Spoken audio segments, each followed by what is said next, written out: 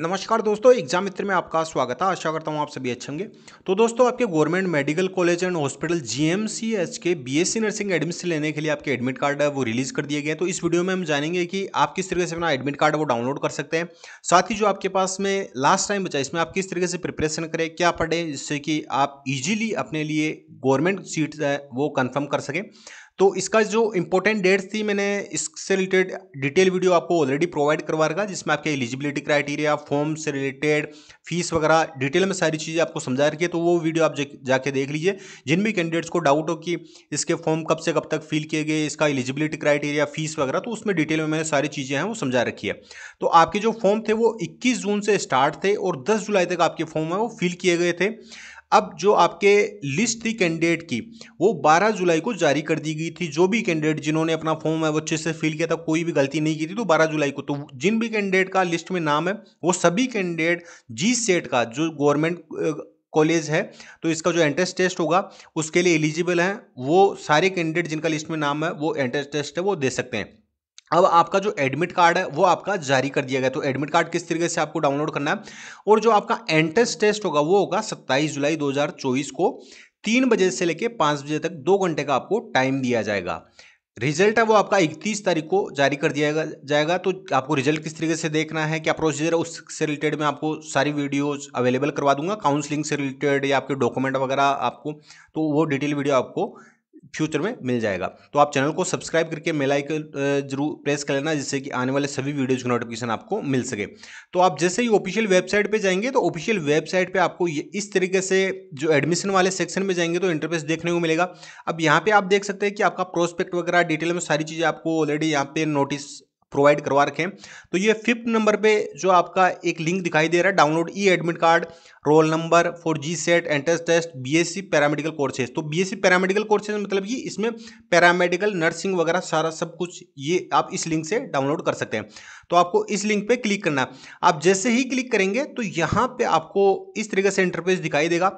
अब यहाँ पे जो आपकी एप्लीकेशन आईडी है केवल वो एप्लीकेशन आईडी आपको यहाँ पे फिल करनी है और फिर इस डाउनलोड रोल नंबर पे आपको क्लिक कर देना आप जैसे ही क्लिक करेंगे तो आपके सामने आपका जो एडमिट कार्ड है, वो ओपन हो जाएगा। उसे आप डाउनलोड कर सकते हैं और उसका प्रिंट है, वो आप निकलवा सकते हैं। आप एडमिट कार्ड को सेव ज़रूर करके रखिए, क्योंकि काउंसलिंग के टाइम पे आपको एडमिट कार्ड की है, वो ज़रूरत पड़ेगी।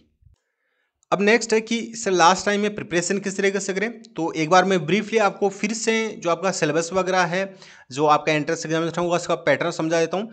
तो जो आपका पेपर होगा, वो इंग्लिश लैंग्वेज में होगा। टोटल हंड्रेड क्वेश्चन आएँगे। और ए क्वेश्चन है, वो एक मार्क्स का रहने वाला है। नेगेटिव मार्किंग आपको नहीं देखने को मिलेगी यहाँ पे। और दो घंटे का, जैसे कि तीन बजे से पाँच बजे तक आपका पेपर होगा तो दो घंटे का आपको टाइम मिलेगा। अब इसमें जो सबसे मोस्ट इंपॉर्टेंट है, वो ये है कि आप आपका जो एंट्रेंस टेस्ट होगा, उसमें आपको मिनिमम इतना स्कोर लेके आना है। अगर आप जनरल कैटेगरी से बिलोंग करते हैं तो 45 परसेंट से नीचे होगा तो आप काउंसलिंग में भी पार्टिसिपेट नहीं कर पाएँगे। मतलब कि ये क्वालिफाइंग स्कोर है। इतना स्कोर तो आपको लाना ही होगा। बाकी एस सी कैटेगरी से हैं तो 40 परसेंट से नीचे नहीं होना चाहिए। जैसे जनरल ओबीसी या ईडब्ल्यूएस कैटेगरी के लिए 45 परसेंट है, बाकी एस सी के लिए 40 परसेंट है यहाँ पे। तो इससे अगर नीचे स्कोर आपका आता है एंट्रेंस टेस्ट में तो आप काउंसलिंग के लिए इलिजिबल भी नहीं हो पाएँगे। वैसे इसमें जो एडमिशन है, वो मेरिट बेस पे होगा। इतने स्कोर पे आपका एडमिशन नहीं होगा। ये इन्होंने मिनिमम अपना क्वालिफाइंग स्कोर दे रखा है कि आपको कम से कम इतना तो लाना ही होगा। और बाकी आप ये ना सोचिए कि इतना स्कोर आ जाएगा तो मेरा हो जाएगा। इतने से स्कोर पे नहीं होता। आप मेरे प्रीवियस ईयर के वीडियो देख सकते हैं। उनमें आपको डिटेल में कट ऑफ़ वगैरह सारा अच्छे से समझा रखा कि कितने मार्क्स में कितनी कट ऑफ़ गई जाती है या कितने जो मार्क्स आपको लाने होते हैं उस पर आपका सिलेक्शन होगा। तो इतने पर आपका नहीं होगा। आपको अच्छे से अपनी स्कोर है, वो लाना होगा तो ही पॉसिबल है, ये गवर्नमेंट कॉलेज है लिमिटेड सीट्स हैं और ऑल ओवर इंडिया के कैंडिडेट इसमें पार्टिसिपेट कर सकते करते हैं और जो चंडीगढ़ के कैंडिडेट हैं, उनको भी अलग से कोटा इसमें दिया जाता है। बाकी के जो अदर स्टेट के कैंडिडेट हैं, उनके लिए भी यहाँ पे जो सीटें हैं, वो लिमिटेड ही रखी गई है। अब सिलेबस क्या पूछा जाएगा? सिलेबस इसमें पूछा जाएगा आपका फिजिक्स केमिस्ट्री और बायोलॉजी का। केवल तीन ही सब्जेक्ट हैं। बायोलॉजी के आपके फिफ्टी क्वेश्चन पूछे जाएँगे फिजिक्स के आपके ट्वेंटी फाइव क्वेश्चन और केमिस्ट्री के आपके ट्वेंटी फाइव क्वेश्चन इनके अलावा आपका अदर कोई सब्जेक्ट नहीं पूछा जाएगा। और टेन प्लस टू स्टैंडर्ड आपका पूछा जाता है। इसमें आपका ग्यारहवीं और बारहवीं का दोनों का सिलेबस आता है। ऐसा नहीं कि टेन प्लस टू मैंशन कर रखा तो काफ़ी सारे स्टूडेंट तो इस कन्फ्यूज़न में रहते हैं कि यहाँ पे टेन प्लस टू कर रखा तो केवल बारहवीं का ही पूछा जाएगा। यहाँ पे टेन प्लस टू का मतलब होता है ग्यारहवीं और बारहवीं। तो इलेवंथ और ट्वेल्थ का आपका जो एन बेस्ड सिलेबस है वो पूछा जाता है तो आपको उसको फॉलो करना होता है। अब लास्ट टाइम में आपको क्या पढ़ना है? तो लास्ट टाइम में आप थ्योरी में फोकस ना करके आप ऑब्जेक्टिव बेस पे अपना सिलेबस है वो कंप्लीट करें। ऑब्जेक्टिव बेस पे ये होता है कि आप जितनी ज़्यादा क्वेश्चन प्रैक्टिस करेंगे, उतने ही आपके चांसेस है वो इंक्रीज होंगे कि आप अपने लिए अच्छा स्कोर है वो गेन कर सकें। तो मैंने डिस्क्रिप्शन बॉक्स में आपको ऑब्जेक्टिव ई बुक प्रोवाइड करवा रखी है तो आप उसे अवेल कर सकते हैं। आप अवेल किस तरीके से करना तो आप जैसे ही वीडियो के डिस्क्रिप्शन बॉक्स में जाएँगे तो यहाँ पर आप देख सकते हैं, ये जी से से रिलेटेड ही आपके इलेवंथ और ट्वेल्थ एन बेस्ड ये आपकी ऑब्जेक्टिव बुक है। इसे आप लास्ट टाइम में ज़रूर फॉलो कर लीजिए, क्योंकि सारे क्वेश्चन आपको इसमें से ही एज इट इज़ देखने को मिलेंगे। इसमें फिजिक्स केमिस्ट्री और बायोलॉजी तीनों सब्जेक्ट हैं, दोनों क्लासेज की। अलग अलग बुक रीड करने की आवश्यकता नहीं है। केवल एक ही ई बुक में आप अपनी प्रिपरेशन वो अच्छे से कर सकते हैं। इंग्लिश लैंग्वेज में मिलेगी आपको ये, और दोनों क्लासेज के। Chapter wise easy medium difficult तीनों लेवल के क्वेश्चन इसमें दिए गए हैं। तो अगर आपका पेपर है, वो मीडियम टू डिफ़िकल्ट लेवल का आता तो सारे क्वेश्चन आपको इसमें से एज इट इज़ देखने को मिलेंगे।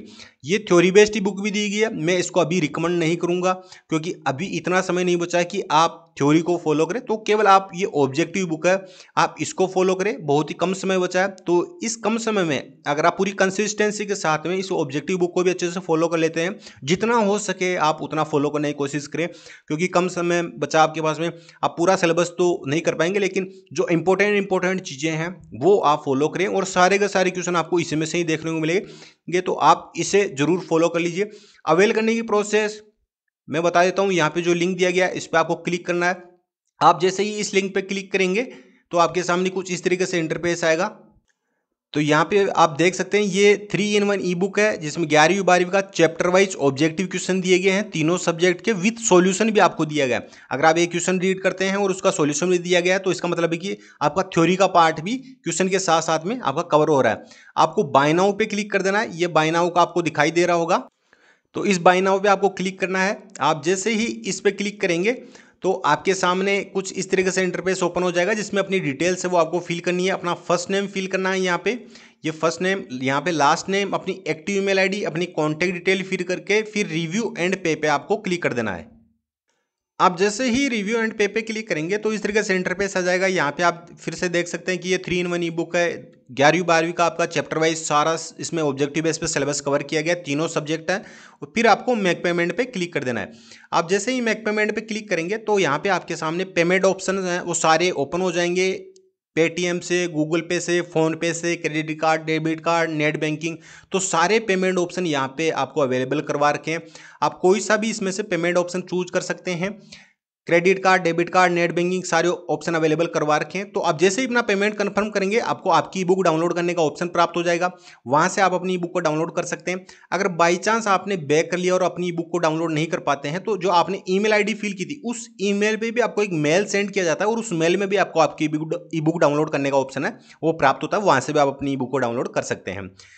तो लास्ट टाइम में आप इस ई बुक के माध्यम से भी आप अपनी प्रिपरेशन को बूस्ट दे सकते हैं और इसमें से ही सारे के सारे क्वेश्चन आपको देखने को मिलेंगे। अगर कोई भी डाउट हो कोई भी इशू मुझे कमेंट बॉक्स में पूछ सकते हैं या इंस्टाग्राम में फॉलो करिए वहाँ से भी जानकारी ले सकते हैं और जो भी कैंडिडेट काउंसलिंग से संबंधित या कोई भी गाइडेंस चाहिए तो वो आप मुझे इंस्टाग्राम पे कॉन्टैक्ट करके वहाँ से भी जानकारी ले सकते हैं। तो फ़िलहाल के लिए इतना ही था। मिलते हैं नेक्स्ट वीडियो में। धन्यवाद। जय हिंद। जय भारत।